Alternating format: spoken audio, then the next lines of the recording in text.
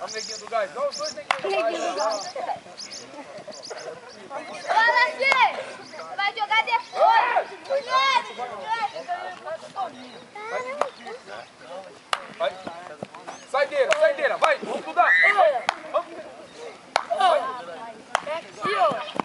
Vai vencer tá a orelha do outro. Vamos lá.